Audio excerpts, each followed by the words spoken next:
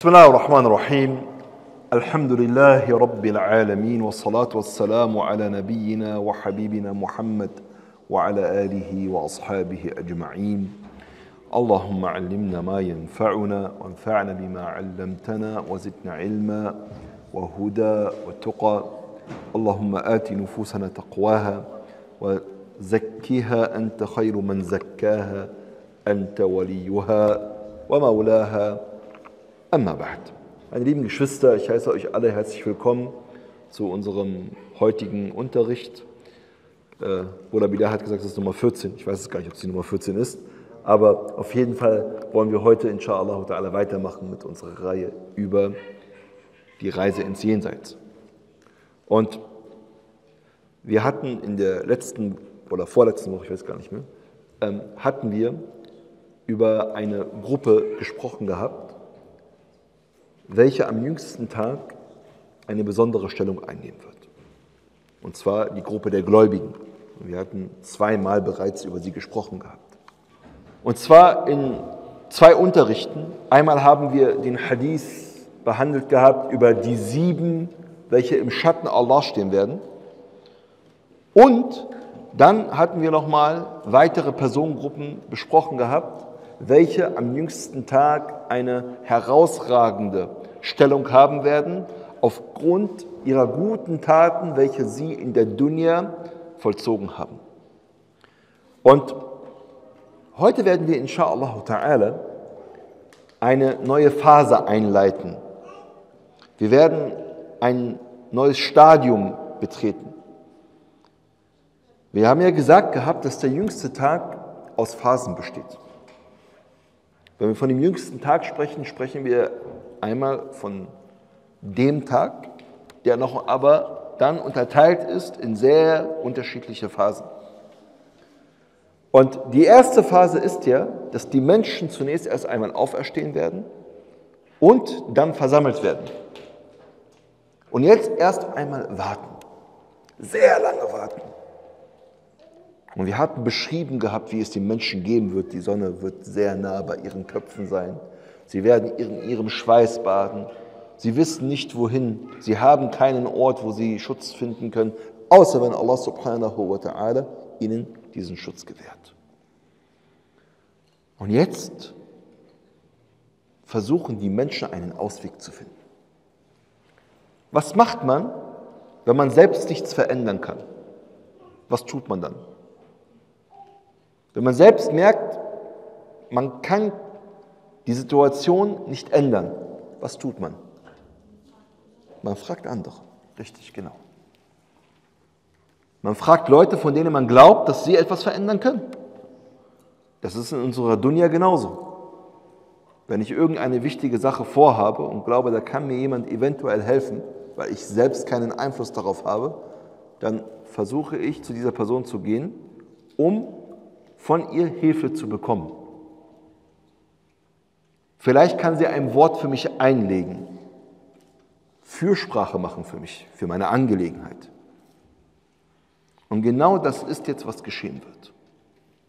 Und zwar, die Menschen, sie werden jetzt nach einem Ausweg suchen, indem sie nämlich zu ganz besonderen Menschen gehen werden, um über sie Fürsprache zu erhalten von Allah subhanahu wa ta'ala oder bei Allah subhanahu wa ta'ala, damit dieser Tag endlich ein Ende findet.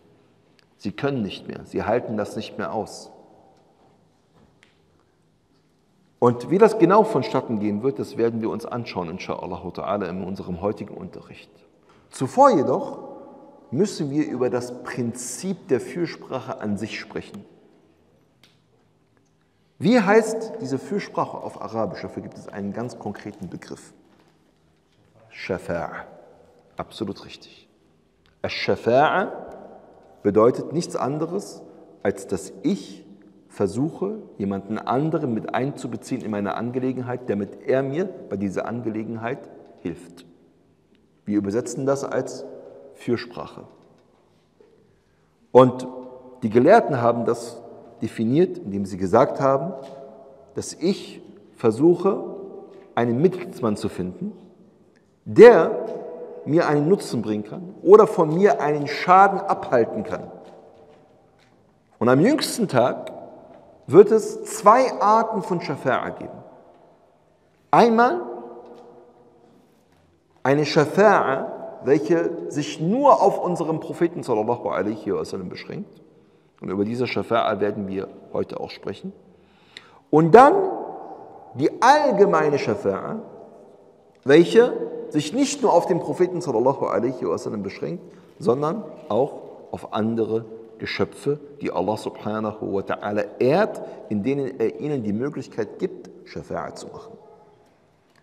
Und damit wir dieses Prinzip der Shafa'a verstehen, müssen wir uns einige Ayat im Koran anschauen, in denen Allah Ta'ala über die Shafa'a am jüngsten Tag spricht. Es gibt nämlich einige Gruppen, welche die Shafa'a verleugnet haben und gesagt haben, so etwas wie Shafa'a gibt es nicht. Weil Allah Ta'ala derjenige ist, der von vornherein festgelegt hat, wer das Paradies betreten wird und wer in die Hölle kommt. Und das ist auch wirklich so. Wenn wir uns die Ayat anschauen, dann werden wir nämlich sehen, dass die Shafa'a nur möglich ist, wenn Allah Ta'ala sie auch zulässt. Nicht jeder kann einfach so Shafa'a machen, sondern Allah subhanahu wa ta'ala ist derjenige, der bestimmt, wer Shafa'a machen kann am jüngsten Tag und wer nicht.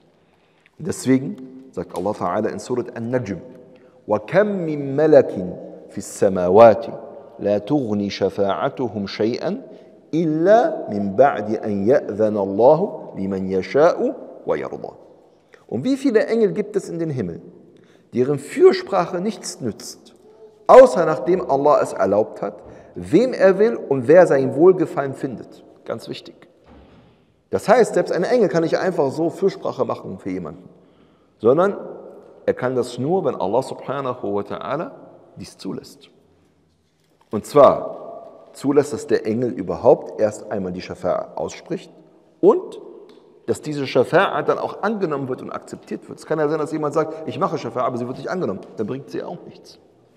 Und deswegen, Allah Ta'ala, er sagt noch einmal in einer Ayah, die wir alle kennen, und zwar Ayat al-Kursi, sagt Allah Ta'ala, Man indahu illa. Wer ist es denn, der bei ihm Fürsprache einlegen könnte, außer mit seiner Erlaubnis? Allah Ta'ala, er erlaubt, ob jemand Shafa'a machen kann oder nicht. Und dann muss Allah subhanahu wa ta'ala auch erlauben, dass du für eine bestimmte Person Shafa'a machen kannst. Und deswegen sagt Allah subhanahu wa ta'ala, يعلم ما بين أيديهم وما خلفهم ولا يشفعون إلا لمن ارتضى وهم من خشيته مشفقون Surat Al-Anbiya, Vers Nummer 28. Er weiß, was vor ihnen und was hinter ihnen liegt. Und sie legen Fürsprache nur für denjenigen ein, dem er zustimmt. Das heißt, selbst wenn du zu denjenigen gehören solltest, die Fürsprache tun dürfen, welche diese Stellung haben, dass sie für jemanden ein Wort einlegen können am jüngsten Tag. Und darüber werden wir in einem anderen Vortrag sprechen. Heute sprechen wir wirklich nur über die Schafa'a des Propheten, sallallahu alaihi wasallam. Wenn du sogar zu solch einer Person gehören solltest, kannst du dir nicht selbst aussuchen, für wen du Schafa'a machst. Sondern Allah subhanahu wa ta'ala, er muss es dir gestatten, dass du für diese Person auch Schafa'a machen kannst. Und deswegen Allah sagt, und sie legen Fürsprache nur für denjenigen ein, dem er zustimmt, und sie sind aus Furcht vor ihm besorgt. Deub. Wenn das der Fall ist, stellt sich eine logische Frage. Wenn Allah Ta'ala ohnehin bestimmt, wer Schafa'a machen kann und für wen Schafa'a gemacht werden kann, warum lässt Allah Ta'ala nicht einfach diese Menschen direkt ins Paradies eintreten oder gibt ihnen das, was durch diese Schafa'a ohnehin bewirkt wird? Wenn doch alles von ihm abhängig ist? Was könnte der Grund sein? Was ist die Weisheit hinter dem Prinzip der Schafa'a? Was ist die Weisheit hinter dem Prinzip der Fürsprache? Was würdet ihr sagen? Ich meine, am Ende Allah entscheidet doch so und so, was passieren wird. Wozu überhaupt dann eine Schafa'a?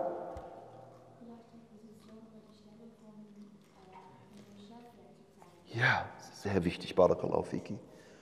Allah subhanahu wa ta'ala, er zeigt damit, welche Stellung der Schafir, das heißt der Fürsprecher hat. Sodass, subhanallah, am jüngsten Tag dem Menschen klar wird, durch ihn habe ich diese Stufe erlangt. Und ich zeige ihm für Dankbarkeit. Allah erehrt dich. Wenn du bei einer wichtigen Person ein Wort einlegen kannst, dann ist das ein was? Dann ist das ein Zeichen dafür, dass du eine besondere Stellung bei ihr hast. Und die Menschen sind dir sehr dankbar, dass du für sie ein Wort einlegen konntest. Du hast eine besondere gesellschaftliche Stellung. Nur aufgrund dessen, dass du ein Wort einlegen kannst. Theoretisch könnte ja diese Person direkt ja, dieser Person helfen. Aber derjenige, für den dann ein Wort eingelegt wird, würde vielleicht gar nicht zu dieser Person gelangen. Und nur durch diesen Mittelsmann oder diese Mittelsfrau, diesen Schafir, habe ich die Möglichkeit, an mein Anliegen zu gelangen. Und somit zeigt Allah subhanahu wa ta'ala die Stellung der Person, die Fürsprache macht. Das ist der Grund. Es geht um nichts anderes. Natürlich entscheidet Allah am Ende, wer welche Stellung bekommen wird. Aber Allah subhanahu wa ta'ala, er will am jüngsten Tag den Menschen zeigen, schaut mal, diese Person ist eine ganz besondere Person. Und wäre diese Person nicht durch ihre guten Taten und durch ihre Stellung bei mir, dann würdet ihr auch diese Position, die ich euch jetzt gebe, aufgrund dieser Person nicht bekommen. Subhanallah. Wir werden noch sehen, inshallah ta'ala, dass es Menschen geben wird, am jüngsten Tag die Schafa'a machen können, auch unter den normalen Gläubigen. Das heißt, ich muss kein Prophet sein, um Schafa'a machen zu können.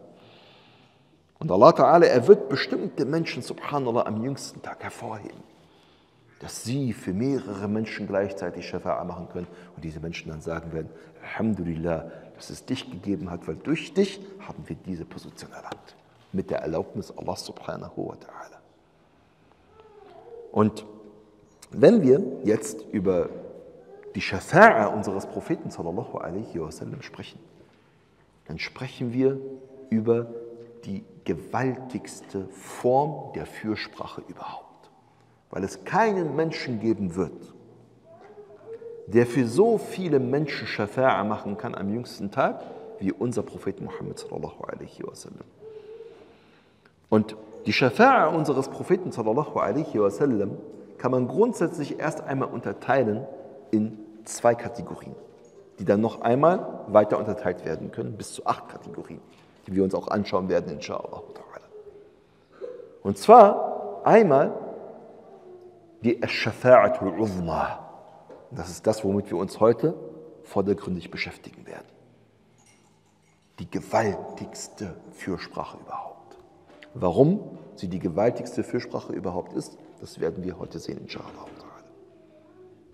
Und dann Shafa'a für bestimmte Personengruppen. Für bestimmte Personengruppen, welche durch unseren Propheten sallallahu alaihi wasallam dann entweder das Paradies betreten können oder eine leichtere Stufe im Höllenfeuer haben werden. Das heißt, die nicht so hart bestraft werden im Höllenfeuer. Das erst einmal grundsätzlich, diese Unterteilung. Und wenn wir von der Shafa'atu al-Uzma sprechen, dann sprechen wir von einer Shafa'a, welche Allah subhanahu wa ta'ala im Koran festgehalten hat und über die der Prophet sallallahu alaihi wasallam ausführlich in unterschiedlichen Hadithen gesprochen hat. Unser Prophet sallallahu alaihi wasallam, bevor wir auf die Ayah im Koran zu sprechen kommen, er sagte sallallahu alaihi wasallam, "U'titu khamsan lam yu'tahunna ahadun qabli." Mir wurden fünf Dinge gegeben, die keinem vor mir gegeben wurden. In einigen Überlieferungen spricht der Prophet von sechs Dingen, mit denen er gegenüber den anderen Propheten ausgezeichnet wurde. Und dann sagt der Prophet sallallahu alaihi wasallam, masirata shahrin. Ich wurde durch Angst zum Sieg geführt auf einer Distanz von einem Monat. Was heißt das? Das heißt, dass die Feinde des Islams sich fürchten vor den Muslimen, weil sie nämlich wissen, die Muslime sind schlagfertig und sie können sich wehren. Das ist ein ganz wichtiger Aspekt, das ist jetzt nicht unser Thema heute, ja, aber es geht hier um eine Frage der Abschreckung der Feinde. Sie wissen, Muslime lassen sich nicht unterdrücken, sondern Muslime können sich wehren. Und deswegen Allah Ta'ala sagt im Koran was? وَأَعِدُّوا لَهُمْ مَا اسْتَطَعْتُم مِّن قُوَّةٍ وَمِن رِّبَاطِ الْخَيْلِ und bereitet vor für sie, was ihr könnt, an Kraft und an Pferdekraft. Also Uhr ist Kraft im Allgemeinen, Ribat und Khail an Pferden sozusagen, an Waffen, an Maschinen etc. Alles, was sozusagen an Möglichkeiten gibt, um sich zu wehren, um abschreckend zu wirken. Das ist das Erste. Und dann Nummer zwei. Und die Erde wurde für mich zu einer Moschee, also einem Ort der Niederwerfung und einem Ort zur rituellen Reinheit gemacht sodass egal wo ich mich befinde als Muslim, immer beten kann. Deswegen sagt der Prophet sallallahu alaihi wasallam, فَأَيُّمَا رَجُلٍ مِّنْ أُمَّتِي أَدْرَكَتْهُ الصَّلَاةِ فَلْيُصَلِّي Sodass egal welcher Mann, welche Frau beten muss, weil die Gebetszeit eingetreten ist, dann auch beten soll. Du kannst überall beten. Es gibt keine Ausrede, keine Ausnahme. وأحلت لي المغانم ولم تحل لأحد قبلي und mir wurde die Kriegsbeute erlaubt und sie ist niemandem zuvor erlaubt gewesen. Und dann, und mir wurde die Shafa'a gegeben. Und dieser Shafa'a ist was gemeint? Diese Shafa'atul Uzma, diese gewaltigste Shafa'a. Weil Shafa'a können viele machen am jüngsten Tag. Dementsprechend spricht der Prophet sallallahu alaihi wasallam hier von dieser gewaltigsten Shafa'a, welche am jüngsten Tag eintreten wird und die nur allein dem Propheten sallallahu alaihi wasallam und niemandem anderen gebührt. Und dann, وَكَانَ النَّبِيُّ يُبْعَثُ إِلَى قَوْمِهِ خَاصَّةً وَبُعِثْتُ إِلَى النَّاسِ عَامَّةً Und ein Prophet, er wurde zu seinem Volk speziell gesandt und ich wurde zu allen Menschen gesandt. Dass der Islam eine Botschaft für die gesamte Menschheit ist. Das sind die fünf Dinge, die der Prophet sallallahu alaihi wasallam hier erwähnt hat. Und dann sagt der Prophet sallallahu alaihi wasallam in einer anderen Überlieferung folgendes. Wie es von Abdullah ibn Umar überliefert wird. Die Menschen werden am jüngsten Tag in Gruppen unterteilt werden. Die Menschen werden am jüngsten Tag was? In Gruppen unterteilt werden. Kullu ummatin tatba'u nabiyaha. Jede Gemeinschaft wird ihren Propheten befolgen.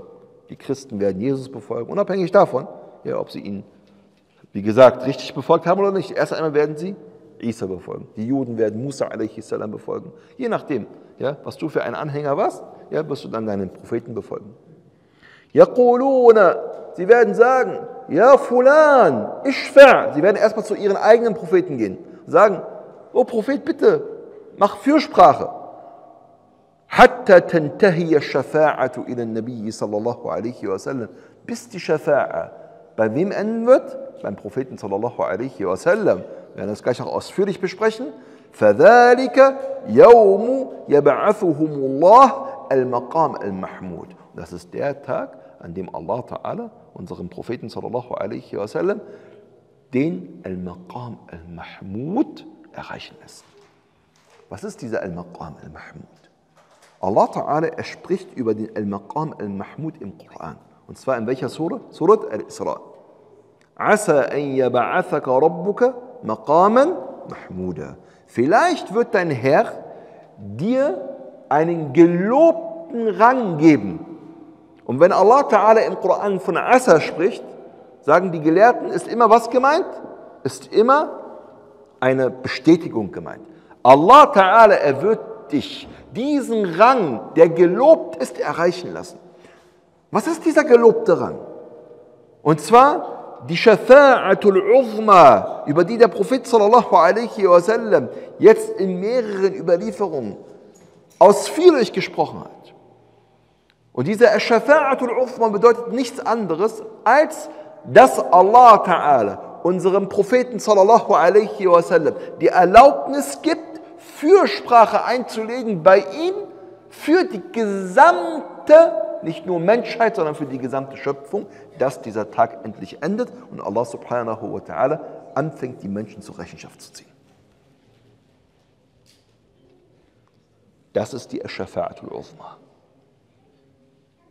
Es geht bei dieser Ash-Shafa'atul Uzma nicht darum, dass die Menschen, die in der Hölle sind, das Paradies betreten sollen. Oder dass Menschen, die im Paradies sind und eine niedrige Stufe haben, eine höhere Stufe bekommen. Nein. Bei der Ash-Shafa'at al-Uzma geht es darum, dass unser Prophet sallallahu alaihi wasallam bei Allah ein Wort einlegt und Allah wird es ihm erlauben, sodass der jüngste Tag oder diese Phase des jüngsten Tages, wo die Menschen einfach nur warten, in dieser elenden Hitze, endlich endet und mit der Abrechnung begonnen wird. Und jetzt lasst uns mal anschauen, wie der Prophet sallallahu alaihi wasallam hierüber berichtet. Es gibt ganz klare, authentische Überlieferungen bei Bukhari und Muslim, in denen der Prophet sallallahu alaihi wasallam ausführlich darüber spricht. Und nehmen wir einfach mal diese Überlieferung.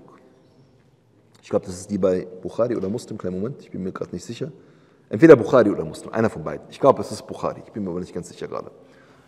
Aber die sind sehr ähnlich. Also vom Wortlaut her sind sie sehr, sehr ähnlich. Gibt es nur hier in diesem Wortlaut gibt es noch einige weitere Details, die ich in dem anderen Wortlaut nicht hatte. Und zwar wird überliefert von Abu Huraira radiallahu anhu arda, dass dem Propheten sallallahu alaihi wasallam Fleisch geschickt wurde, eines Tages.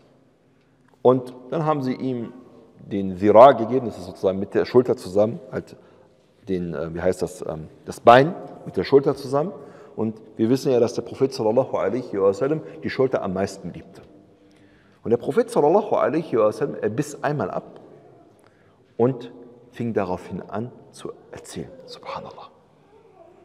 Und er sagt, Ana Sayyidun Nasi Yawm al-Qiyamah. Ich werde der beste Sayyid, Sayyid so wie der beste, der Herr, der angesehenste Mensch am jüngsten Tag sein. Und dann fragte der Prophet und subhanallah, der Prophet hat immer versucht, die Menschen zu unterrichten, indem er Fragen stellt. Und er sagte zu ihnen, wisst ihr warum ich der angesehenste und der beste Mensch am jüngsten Tag sein werde? وَهَلْ تَدْرُونَ بِمَا ذَلِكَ und dann antwortete der Prophet sallallahu alaihi wasallam.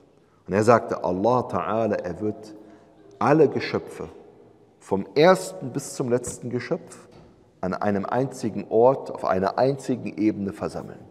يجمع الله يوم القيامة الأولين والآخرين في صعيد واحد. Alle zusammen an einem Ort. Kann sich das kaum vorstellen. Ich meine, wenn wir heute eine Demonstration haben mit 100.000 Menschen, dann sagen wir, wow, krass.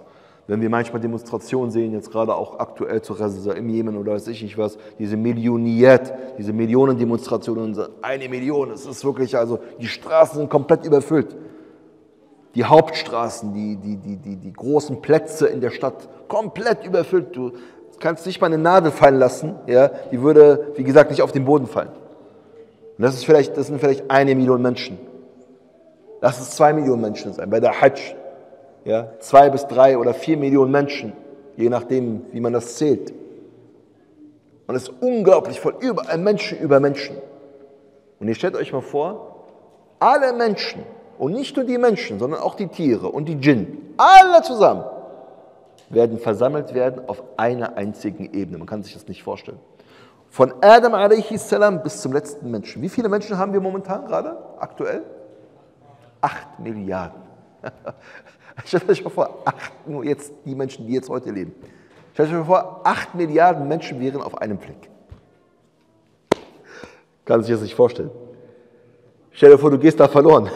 Vorbei, findest du nichts wieder, subhanallah. Und es werden weit über acht Milliarden sein. Wir wissen es nicht. Nur Allah weiß es, subhanallah. Und dann sagt der Prophet sallallahu alaihi wasallam, ja, dass sie jetzt was hören werden? Den Rufer. Und sie werden überall hinschauen. Und Menschen über Menschen. Die Sonne, sie wird sehr nahe an ihren Köpfen sein, sagt der Prophet sallallahu alaihi wasallam. Und sie werden sich in einem Zustand des Ram und des Karb befinden. In einem Zustand, wo es ihnen einfach nur schlecht geht.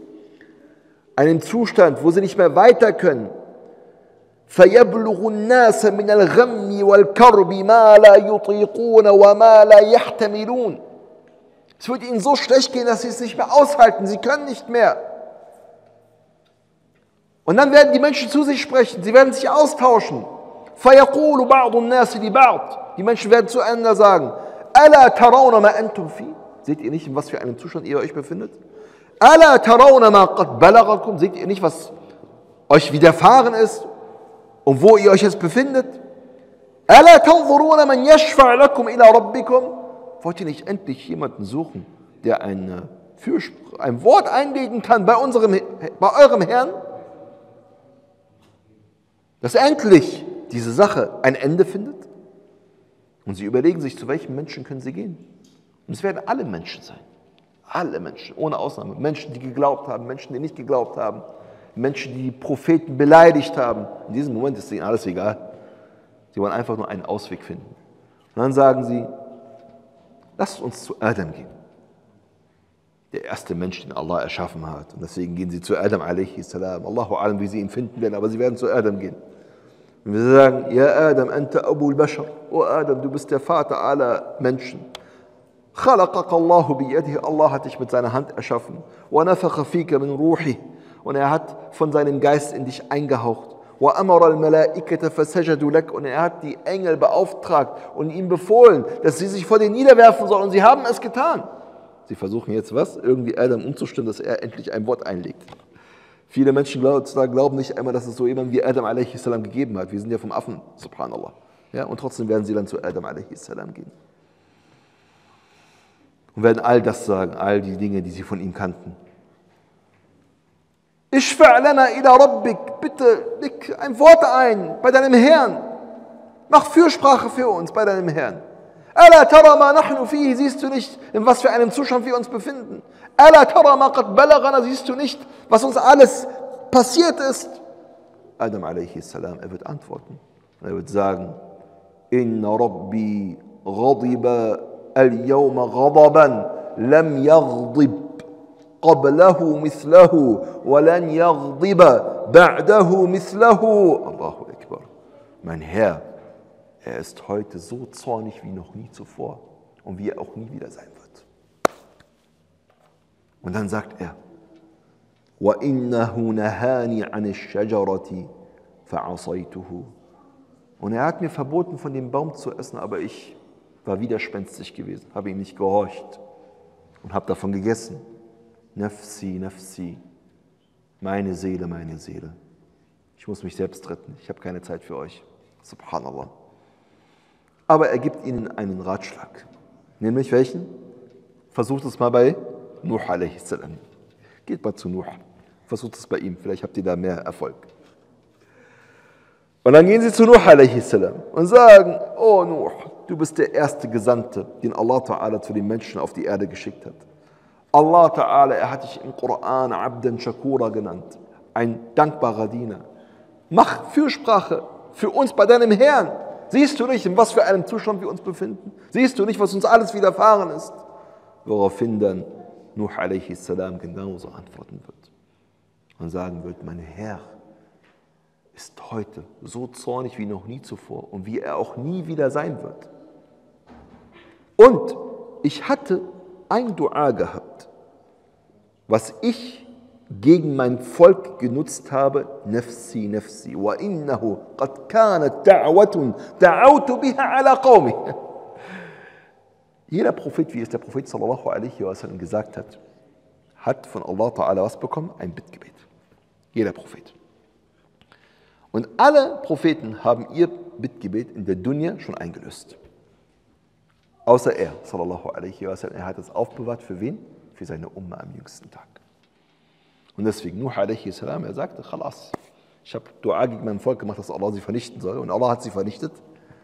Und dementsprechend kann ich euch nicht weiterhelfen. Nafsi, nafsi. Ich meine, wenn Propheten sagen, nafsi, nafsi, muss es an uns gehen, subhanallah. Kann sich das kaum vorstellen. Und dann gibt er ihnen einen Ratschlag. Und er sagt, geht zu Ibrahim a.s. Und sie gehen dann zu Ibrahim a.s. Und sie versuchen sich wieder bei ihm einzuschleimen und sagen, Inna Rabbi, äh, nee. und sie sagen, Anta Nabiyullah wa Khaliluhu min Ahl al-Ard. Du bist der Prophet Allahs, du bist sein enger Freund, der Freund, den er sich zum Freund genommen hat. Mach eine Fürsprache für uns. Siehst du nicht, in was für einem Zustand wir uns befinden? woraufhin Ibrahim a.s. genau so antworten wird. Mein Herr ist so zornig wie noch nie zuvor und wie er nie wieder sein wird. Und dann sagt er, warum er keine Fürsprache machen kann. Was ist der Grund? Und zwar, er sagt, weiß jemand, was der Grund ist? Hm? Er hat dreimal gelogen. Wo hat er denn gelogen? Der Prophet sallallahu alaihi wasallam, er sagt, dass Ibrahim alaihi salam zweimal gelogen hat über Allah und einmal für seine Schwester. Was ist damit gemeint? Über Allah, nicht, dass er Lügen über Allah ersonnen hat, nein, sondern als er mit seinem Volk Da'wah gemacht hat, da war er sich gezwungen, dass er eine doppeldeutige Aussage macht, damit er es schafft, sein Volk zu überzeugen, dass die Götzen, die sie anbeten, falsche Gottheiten sind. Und dementsprechend, als Ibrahim a.s. von seinem Vater aufgefordert wurde, an dem großen Fest in seiner Stadt Ur teilzunehmen, da sagte er was? Was sagte er? Inni saqim, ich bin krank. War er krank gewesen? Er war nicht krank gewesen. Aber er meinte damit auch nicht körperliche Krankheit, sondern was? Er ist krank vor Sorge über sein Volk. Das ist eine doppeldeutige Aussage. Unser Prophet sallallahu alaihi wasallam, er nennt das eine Lüge. Ist es in Wirklichkeit eine Lüge? Nein, es ist eigentlich keine Lüge. Aber subhanallah, für einen Propheten gehört es sich nicht einmal, solch eine doppeldeutige Aussage zu machen. Und deswegen bezeichnet es der Prophet sallallahu alaihi wasallam als Lüge und deswegen verwendet dies Ibrahim alaihi salam als Vorwand dafür, dass er keine Fürsprache machen kann. Und da sehen wir noch einmal, wie wichtig die Ehrlichkeit ist. Dass ein Muslim versuchen sollte, immer ehrlich zu sein, so gut er kann. Auch wenn es für uns Muslime, für einfache Menschen erlaubt ist, doppeldeutige Aussagen zu machen, die nicht eindeutig eine Lüge sind. Was ist das Zweite, worüber er gelogen hat in Bezug auf Allah? Genau, dass er gesagt hat, der große Götze, so fragt ihn doch, er ist es, der die kleinen Götzen zerstört hat. Und das ist ja, wie gesagt, eine Lüge in dem Sinne, aber er wollte damit nur was machen? Er wollte damit sein Volk nur aufmerksam machen, dass sie sich in einem Widerspruch befinden. Und die dritte Lüge ist, als Ibrahim a.s. Zu, nach Ägypten ging, dort gab es einen König, einen Herrscher, der sehr tyrannisch war und der jede hübsche Frau an sich riss. Und er wusste, dass wenn er sagen würde, er ist ihr Ehemann, der Ehemann von Sarah, dass er seine Leute auf ihn hetzen würde und ihn umbringen würde. Und deswegen sagte er zu Sarah, wenn die Leute dich fragen, wer du bist, dann sag ihnen, du bist meine Schwester. Und das ist auch eigentlich keine Lüge. Warum? Weil sie ist ja wirklich seine Schwester, aber im Glauben, auch wenn es eine Ehefrau ist. Und Ibrahim a.s., er hat, wie gesagt, diese drei, in Anführungsstrichen, Lügen gemacht und er sagt, ich habe gelogen und dementsprechend kann ich diese Stellung nicht übernehmen. Nafsi, nafsi. Jeder von ihnen erwähnt etwas, subhanallah. Weil sie nämlich wissen, Allah subhanahu wa ta'ala, er hat sie dafür nicht auserwählt. Und dann sagt Ibrahim a.s., geht zu Musa. Und sie gehen zu Musa und sie sagen, du bist der Gesandte Allahs. Allah Ta'ala, er hat dich auserwählt mit dieser Botschaft der Torah und dass du mit Allah Ta'ala gesprochen hast. Allah sagt im Koran was über Musa Musa taklima. Und Allah hat mit Musa wahrhaftig gesprochen. Und sie bitten ihn darum, dass er Schafa'a macht. Aber er antwortet wieder in derselben Art und Weise, mein Herr zürnt wie noch nie zuvor und wie er nie wieder zürnen wird und erwähnt daraufhin seinen Fehler, den er gemacht hat. Und zwar, dass er den Ägypter getötet hat. Und ich habe einen Menschen getötet, den ich eigentlich nicht töten sollte. Nafsi, nafsi. Subhanallah. Jeder von ihnen erwähnt seinen Fehler. Und dann sagt Musa a.s., geht zu Isa. Und sie gehen zu Isa a.s. Und sie sagen, ja Isa, o oh Jesus, Anta Rasulullah, du bist der Gesandte Allahs. Und du hast zu den Menschen in der Wiege gesprochen, als kleines Kind. Und du bist ein Wort von ihm, welches er auf Mariam herabgesandt hat. Und du bist ein sozusagen Ruh von Allah subhanahu wa ta'ala, ein Geist von ihm. So mach für uns Shafa'a. Siehst du nicht, in was für einem Zustand wir uns befinden? Woraufhin Isa a.s. genauso antworten wird, aber mit einem Unterschied. Was ist der Unterschied? Ja. Nein, nein. Was ist der Unterschied? Er wird auch sagen, mein Herr ist so zornig wie noch nie zuvor, wie er nie wieder sein wird. Aber jetzt gibt es einen Unterschied. Ja, genau. Und er erwähnt keine Sünde. Subhanallah. Isa alaihi salam hat eine besondere Stellung. Und ich finde das sehr, sehr interessant, wirklich. Subhanallah. Unser Prophet sallallahu alaihi wasallam als Gesandter Allahs. Er hat jedem Propheten seine Stellung gegeben. Er hat jedem Propheten die Stellung gegeben, die Allah Ta'ala ihm zugewiesen hat. Sich selbst hat er seine Stellung gegeben ich bin der angesehenste unter den Menschen am jüngsten Tag. Das ist die Stellung, ohne damit zu prallen zu wollen. Das ist einfach eine Tatsache. Aber gleichzeitig hat er allen anderen Propheten auch ihre Stellung gegeben. Und über Isa a.s. sagt er ganz klar, er erwähnt keine Sünde, weil er keine Sünde begangen hat. Subhanallah. Unglaublich. Und die Sünden bei Propheten sind ja keine Sünden, sondern es sind was? Wenn überhaupt Fehler, Fehlentscheidungen, aber keine Sünde, wo eine Grenze Allahs überschritten wurde mit einem Vorsatz. Und deswegen, bei Propheten nennen wir das nicht wirklich Sünde, sondern wir nennen das was? Wir nennen das Fehlentscheidung. Und er erwähnt keine Sünde und trotzdem sagt er was? Nefsi, nefsi. Ich kann mich jetzt nur um mich selbst kümmern. Ich kann mich nur um mich selbst kümmern. Und daraufhin sagt Isa a.s. einfach nur, Izhabu ila ghayri. Geht zu jemandem anderen. Und dann, Izhabu ila Muhammadin sallallahu alaihi wasallam. Geht zu Muhammad. Oh, das muss bestimmten Leuten besonders wehtun. Gerade diejenigen, die gedacht haben, dass ihre Erlösung darin liegt, dass sie Jesus anbeten. Aber Jesus wird sich am jüngsten Tag von ihnen lossagen. Und er wird sagen, ich habe ihnen nur das gesagt, was du von mir befohlen hast was du mir befohlen hast. Dass ihr Allah anbetet, meinen Herrn und euren Herrn.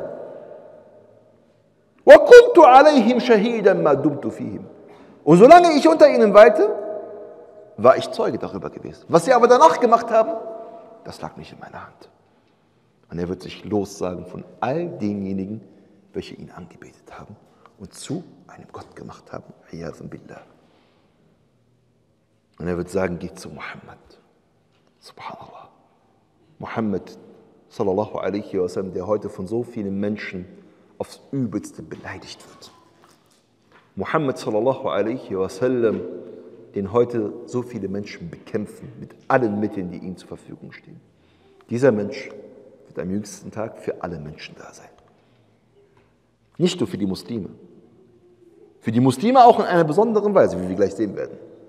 Aber in diesem Moment, bei der Shafa'at al-Uzma, wird Muhammad sallallahu alaihi wasallam für alle Menschen da sein, sodass unser Prophet sallallahu alaihi wasallam im wahrsten Sinne des Wortes eine Rahma lil Alamin ist, eine Barmherzigkeit für alle Weltenbewohner. Eine Barmherzigkeit für alle Weltenbewohner. Der Prophet sallallahu alaihi wasallam war nicht nur eine Barmherzigkeit für die Muslime, sondern er ist auch eine Barmherzigkeit für die Nicht-Muslime, für die Schöpfung als Ganzes. Das wollen heutzutage viele Menschen nicht wahrhaben. Und das ist traurig. Aber es ist die Tatsache und es ist die Realität. Wir brauchen uns nur die Geschichte anzuschauen und sehen, subhanallah, dass unter muslimischer Herrschaft die Menschen ihre Freiheiten hatten, ihre religiösen Freiheiten hatten. Das, was man heutzutage sogar in Europa uns Muslimen verwehren möchte. Wir haben momentan einen merkwürdigen Rechtsruck, einen extremen Rechtsruck in der Gesellschaft. Und der ist gerichtet in erster Linie gegen wen? Gegen die Muslime, nicht gegen Migranten als Migranten, Es geht in erster Linie um Migranten aus islamischen Ländern. Man will hier keine Muslime haben. Und man hetzt gegen die Muslime aufs Übelste. Unter muslimischer Herrschaft, subhanallah, konnten die Menschen ganz selbstverständlich ihren Glauben ausleben, ausüben. Kirchen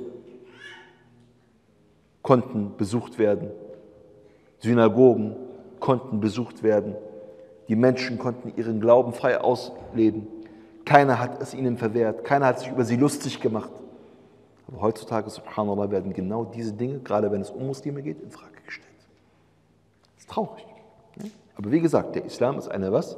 Barmherzigkeit für die Weltenbewohner. Jetzt könnte jemand sagen, was ist aber mit den Terroranschlägen? Natürlich gibt es das, gar keine Frage. es gibt Konflikte, gar keine Frage, aber ich gehe im Großen und Ganzen über die Geschichte, wenn wir uns das anschauen, dann sehen wir, subhanallah, unter muslimischer Herrschaft konnten die Menschen auch unterschiedlichen Glaubens friedlich miteinander zusammenleben. Und das ist das, ja, was wir generell sagen können über die islamische Geschichte. Gab es Konflikte, gab es auch Unrecht natürlich, aber das war vereinzelt gewesen. Weil hätten die Muslime genauso gehandelt wie die Europäer gegenüber den Andersgläubigen, dann würde es heute keine Juden mehr geben. Und dann würde es heute in der islamischen Welt keine Kirchen mehr geben. Es würde in der islamischen Welt keine Christen geben. Und es würde auch wahrscheinlich in Indien etc. keine Hinduisten und keine Buddhisten mehr geben. Warum? Ja, weil die Muslime dort mehrere Jahrhunderte geherrscht haben. Aber wie haben sie geherrscht? Sie haben geherrscht mit Toleranz, weil das nämlich ihr Glauben von ihnen verlangt hat. Subhanallah. Deswegen, Muhammad sallallahu alaihi wasallam ist mit seiner Botschaft eine Barmherzigkeit für die Weltenbewohner. Unter muslimischer Herrschaft in Philistrin haben Juden, Christen und Muslime friedlich zusammengelebt. Es gab eine friedliche Koexistenz. Keiner hat das in Frage gestellt. Keiner wäre auf die Idee gekommen zu sagen, ihr Christen habt kein Recht hier in Palästina zu sein. Oder ihr Juden habt kein Recht hier in Palästina zu sein. Was geschieht aber heute? Unter israelischer Herrschaft?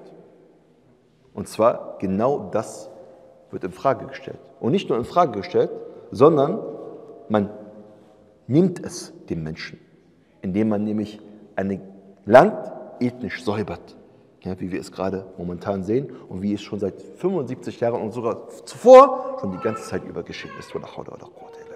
Das ist der Unterschied. Das ist der Unterschied. Ja, und deswegen, Muhammad sallallahu alaihi wasallam ist eine Barmherzigkeit für die Weltenbewohner in der Dunya und im Akhirah. In der Dunya und im Akhirah. Und im Akhirah wird dann Muhammad sallallahu alaihi wasallam sagen, wenn die Menschen zu ihm kommen werden, und viele werden in diesem Moment heucheln und sich einschleimen, obwohl sie vielleicht diejenigen gewesen sind, die in der Dunya Muhammad sallallahu alaihi wasallam aufs Übelste beleidigt haben. Und sie werden sagen, ja Muhammad, anta Rasulullah. O Muhammad, du bist der Gesandte Allahs. Wa khatamul anbiya und das Siegel der Propheten. Wa ghafar Allahu laka. Entschuldigung, ich muss kurz niesen. Alhamdulillah. يصلح بالكم وغفر الله لك ما تقدم من ذنبك وما تأخر und Allah hat dir vergeben, was du zuvor an Sünden gemacht hast und was du später an Sünden gemacht hast. Und wie gesagt, mit Sünden sind hier was gemeint? Fehlentscheidungen, keine richtigen Sünden. Weil Propheten keine richtigen Sünden begehen. Ich lana ila rabbik. Leg Fürsprache eins für uns bei deinem Herrn. Allah tara ma nahnu fi, siehst du nicht, was für einen Zustand für uns befinden? Allah tara ma qad balagana, siehst du nicht, was aus uns geworden ist? Und jetzt sagt der Prophet sallallahu alaihi wasallam folgendes. Und ich werde mich dann auf den Weg machen. Subhanallah. Was muss das für ein Moment sein? فآتي تحت العرش. Und ich werde mich dann unter den Thron Allahs stellen. فأقع ساجدا لربي. Und ich werde mich dann niederwerfen vor meinem Herrn. Und jetzt sagt der Prophet sallallahu alaihi wasallam. ثم يفتح الله علي ويلهمني من محامده وحسن الثناء عليه شيئا لم يفتحه لأحد قبلي الله أكبر kann man sich gar nicht vorstellen subhanallah und dann sagt der Prophet sallallahu und daraufhin öffnet Allah ta'ala mir Dinge und gibt mir Mahamid, das heißt Lobpreisungen ein und schöne Form von Lob, wie er noch nie zuvor einem Menschen eingegeben hat. Das heißt, unser Prophet sallallahu alaihi wasallam, er bekommt in diesem Moment Lobpreisungen eingegeben, die noch nie ein Mensch jemals zuvor in den Mund genommen hat. Schlüssel für die Schafa'a. Schlüssel für genau diesen Al-Maqam Al-Mahmud, diesen gelobten Rang. Und daraufhin wird zu mir gesagt, ja Muhammad, O Muhammad, irfa' ra'sak, heb dein Haupt. Sel tu'ta, bitte, und dir wird gegeben. Ishfa' tushaffa' und mach Fürsprache und sie wird dir gewährt فأرفع رأسي woraufhin ich mein Haupt erheben werde فأقول يا ربي أمتي أمتي und ich werde sagen oh mein Herr meine Gemeinschaft meine Gemeinschaft okay hier müssen wir kurz innehalten und uns überlegen wie kann das sein wir reden doch von der Shafa'atul Uzma von der gewaltigsten Shafa'a warum spricht der Prophet sallallahu alaihi wasallam an dieser Stelle nur über seine Ummah Und nicht über die Menschheit. Die Gelehrten haben sich genau diese Frage gestellt. Und sie haben gesagt, wie Ibn Hajar und andere, dass dieser Hadith abgekürzt ist. Dass dieser Hadith abgekürzt ist. Das heißt, der Überlieferer hat hier etwas ausgelassen. Und zwar den Teil, wo es um die Shafa'atul Uzma geht und ist direkt übergegangen zu der Shafa'a für die Umma unseres Propheten sallallahu alaihi wasallam. Dieser Teil, der wurde in dieser Überlieferung und in anderen Überlieferungen weggelassen. Es gibt jetzt verschiedene Interpretationen, warum das so ist. Aber manche haben gesagt, die Überlieferer, die das überliefert haben, sie haben das überliefert aufgrund dessen, weil es einige irregeleitete Gruppen gab, welche genau diese Art von Schafa'a verleugnet haben. Und deswegen haben sie all das weggelassen, um direkt zu dem Teil zu kommen, der die Umma unseres Propheten sallallahu alaihi wasallam betrifft. Aber wie gesagt, die Ash-Shafa'atul Uzma bedeutet ganz konkret was, dass der Prophet sallallahu alaihi wasallam jetzt, nachdem er diese Lobpreisungen eingegeben bekommen hat, Allah subhanahu wa ta'ala bitten wird, dass der jüngste Tag, oder besser gesagt diese Phase des jüngsten Tages beendet wird, so damit die Menschen darauf direkt zur Rechenschaft gezogen werden. Und genau das wird geschehen. Dass unser Prophet sallallahu alaihi wasallam jetzt eine neue Phase einleitet und alle Menschen in seiner Schuld stehen. Und alle Menschen in seiner Schuld stehen und ihm Dankbarkeit zeigen werden, dass er für sie diese Schafa'a gemacht hat. Das ist die was? Shafa'atul Uthma am jüngsten Tag.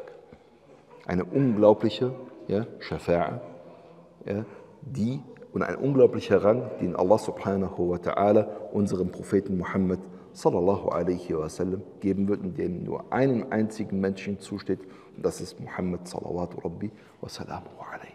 Wir machen ja jedes Mal Dua, wenn wir den Adhan hören, genau hierfür. Die wir sagen, Allahumma Rabb hadhihi da'wati tam. O Allah, du Herr dieser vollkommenen, dieses vollkommenen Rufes. Was salati al-qa'ima und des anstehenden Gebetes. آت محمدا الوسيلة والفضيلة. Gib Muhammad die Wasila und die Fadila. Wasila ist die höchste Stufe im Paradies, Al-Fadila ebenfalls sozusagen eine Auszeichnung. Und jetzt, وَبَعَثْهُ مَقَامًا مَحْمُودًا الَّذِي وَعَدْتَ Und lass ihn diesen Al-Maqam Mahmud erreichen, den du ihm versprochen hast. Darum bitten wir den Propheten zu Und wenn wir das machen, was sagt unser Prophet zu Was kriegen wir dafür? Seine Schafa'a am jüngsten Tag. Seine Schafa'a am jüngsten Tag. Allahu Akbar.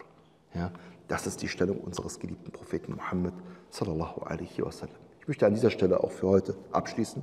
Wir werden über die anderen Arten von Shafa'a unseres Propheten sallallahu alaihi wasallam in der kommenden Woche sprechen. Subhanakallahumma wa bihamdik, nashhadu an la ilaha illa ant, nastaghfiruka wa natubu ilayk. Bismillahir rahmanir rahim. Wal 'asr. إن الإنسان لفي خسر إلا الذين آمنوا وعملوا الصالحات وتواصوا بالحق وتواصوا